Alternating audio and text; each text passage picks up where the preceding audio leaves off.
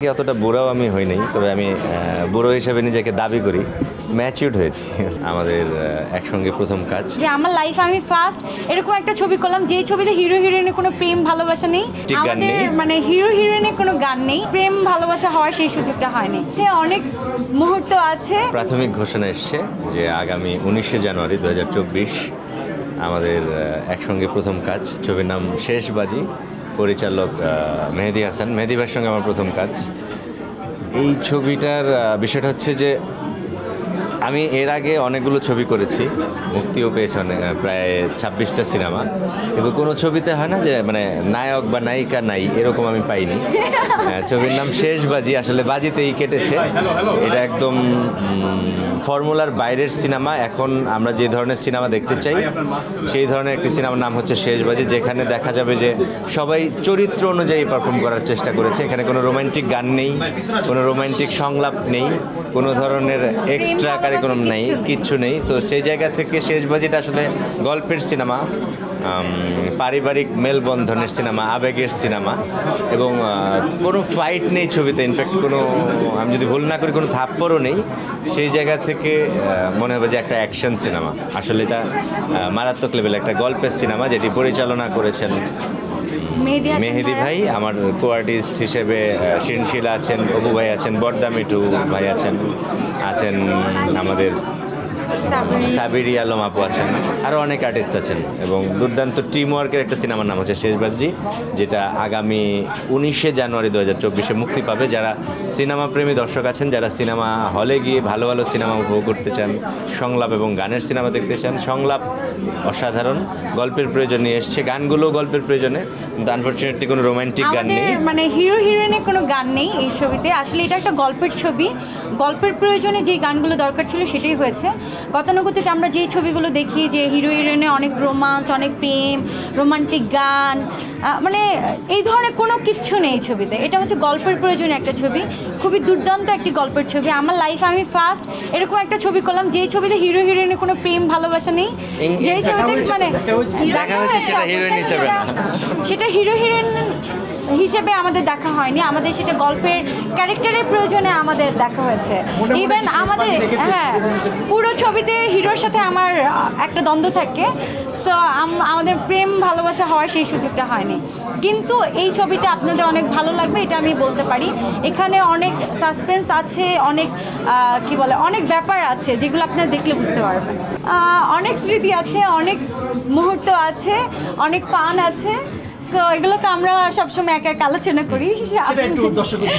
এটা যে এরকম যেভাবে হচ্ছে না যেহেতু সংলাপ মানে প্রেমের কোনো সংলাপ নাই সো এখানে খুব একটা আবেগের বিষয় নাই। বিষয়টা হচ্ছে যে কাজটা কীভাবে আমরা সুন্দর করে করব সেটাই একটা বিষয় ছিল যেটা আমার পরিচালক সুন্দরভাবে করানোর চেষ্টা করেছেন এবং পেরেছেন আমি বিশ্বাস করি।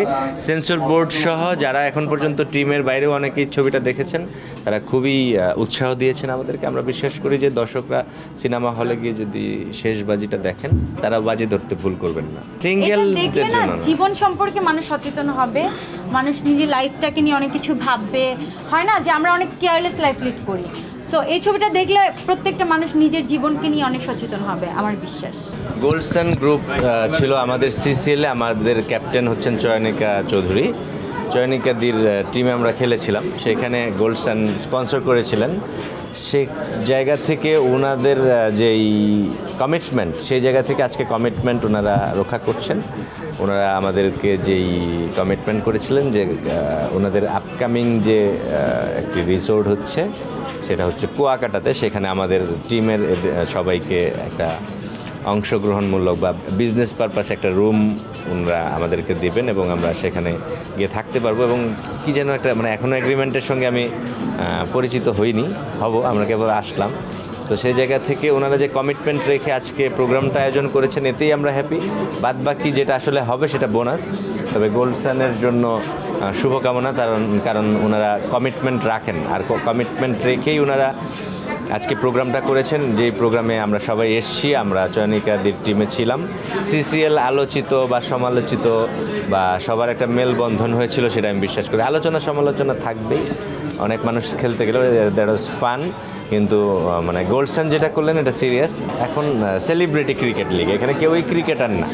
মানে ইয়ে আমাদের কার্যক্রমটা ছিল এরকম যে আমাদের ন্যাশনাল টিমকে ইন্সপায়ার করা। সেই জায়গা থেকে যারা আয়োজক কমিটি ছিলেন, তারা কিন্তু সফল। যারা দু একজন গ্যাঞ্জাম করেছেন, এটা আজীবন সব জায়গাতেই হয়তো হয়ে আসে বা ওনারা ভবিষ্যতে এরকম করবেন। তবে আমার একটা ওনাদের প্রতি মানে খুব অনুরোধ থাকবে যেন একটা সুন্দর আয়োজনকে আমরা গ্যাঞ্জাম করে নষ্ট না করি। ফান সবসময় ফানের মধ্যে থাকুক, সেটা মারামারি পর্যায়ে কেন যাবে? আর আজকে যেটা হচ্ছে, ফান থেকে একটা সিরিয়াস মোমেন্ট আমরা পাচ্ছি যে গোল্ডসান আমাদেরকে যেই কমিটমেন্ট করেছিলেন এমনিতেই বলেছিলেন, আমরা ভেবেছিলাম, কিন্তু আজকে ফাইনালি ওনারা আজকে ডিট করবার জন্য আমাদেরকে এখানে ইনভাইট করেছেন। ইনফ্যাক্ট আমি একটা শুটিংয়ে ছিলাম। আমি ছুটি নিয়ে এসেছি। ভালোই হয়েছে, আমি ষোলোই ডিসেম্বরও সামনে, আমি এমনিতেও ষোলো ডিসেম্বর শুটিং করি না। আমি দুই দিনের ছুটি পেয়ে গেলাম সো গোলশানের কাছে মানে কৃতজ্ঞ হয়ে রইলাম যে ওনারা আমাদেরকে ভুলেননি। আমরাও ভবিষ্যতে গোলশানের থা- সঙ্গে থাকবার চেষ্টা করি। সেই জায়গা থেকে আমি যদি এভাবে বলি যে ক্রিকেটটা আমি সবসময় এনজয় করি, আগে আমি প্রচুর ক্রিকেট খেলতাম, হয়তো নিজে একসময় স্বপ্নও দেখতাম যে আমি ন্যাশনাল টিমে খেলব। সেটা অনেক আগের কথা, বিশ বাইশ বছর আগের। আর সে জায়গা থেকে অতটা বুড়াও আমি হই নাই তবে আমি বুড়ো হিসেবে নিজেকে দাবি করি ম্যাচিউড হয়েছি। সো ক্রিকেট অনেক বছর পর খেললেও যেই পারফরমেন্স ছিল, আমার টিমের সেটা কাজে লেগেছে এবং আমি এনজয় করেছি। যারা জানতেন না যে আমি হয়তো ক্রিকেট খেলতে পারি, তারা দেখা হলে বলে যে, ভাই, খুব ভালো ক্রিকেট খেলেছেন। ওইটাই অর্জন। আর বাকিটা বললাম না যে ফান ছিল সেলিব্রিটি ক্রিকেট লিগটা আমার কাছে এবং ন্যাশনাল টিমকে ইন্সপায়ার করার জন্যই আমাদের এই আয়োজনটা ছিল। সেই জায়গা থেকে একটা মারাত্মক কি বলে, ভালো লাগা সৃষ্টি হয়েছে এবং যাদের সঙ্গে আমার পরিচয় ছিল না, জানাশোনা ছিল না, ওনাদের সঙ্গেও একটা সম্পর্ক বিল্ড আপ হয়েছে। এই সম্পর্ক কিন্তু এভাবেই হয়। যেটা গোলসানের সঙ্গে আমাদের আজকে হতে যাচ্ছে। ভবিষ্যতে সিসিএলে আমরা খেলতে গেলে নিশ্চয়ই সেটা মাথায় রাখব যেন গ্যাঞ্জাম না হয়। অনেক অনেক শুভকামনা যারা আমাদের সঙ্গে ছিলেন। ভবিষ্যতে বাংলাদেশ ক্রিকেট যেখানেই যাবে সেখানেও আমরা এভাবে ইন্সপায়ার করতে চাইতাম আমি আসলে এখনও ক্লিয়ার না যেহেতু আমি চুক্তিবদ্ধ হইনি। আসলাম আমি শুনি। আর একটা সুইট রুম পাইলে যদি আমি বেড়াইতেও যেতে পারি বেড়ানোর জন্য যদি বাচ্চা কাচ্চা নিয়ে যেতে পারি দুদিন থাকলাম তিন দিন থাকলাম কুয়াকাটা? তা কুয়াকাটায় যদি হয় কুয়াকাটায় যেখানে দিবে ওনারা অবশ্যই সেখানে ফ্রেশ প্রায়োরিটি থাকবে আমার ফ্যামিলি আমার বাচ্চা কাচ্চা। আমি তো কোম্পানির কেউ না আসলে। আমি গেস্ট হিসাবে এখনও আছি। যদি কোম্পানি আমাকে ও সেখানে যদি মানে মানে যদি ওনারশিপ আমাদের থাকে ওখানে বলব হানিমুনটা করে আসবেন। সূর্য উদয় দেখবেন অস্ত দেখবেন নিজের পরিণতিও দেখতে পারবেন। আমি খুব সাধারণ লাইফ লিড করি। হয় না যে আমরা যেটা এখন প্রতিনিয়ত দেখি যে কারণে সাইমনকেও মাঝে মাঝে মনে হয় যে কী বলছে ঠিক বলছে কিনা।